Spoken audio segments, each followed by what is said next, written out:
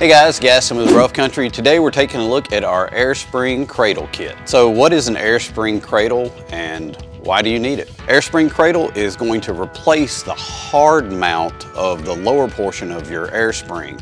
And what this essentially does is it's gonna allow your suspension to cycle fully.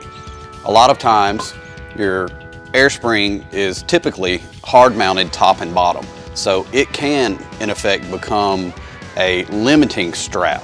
Uh, that is to say, your suspension is only going to drop as much as this airbag gives.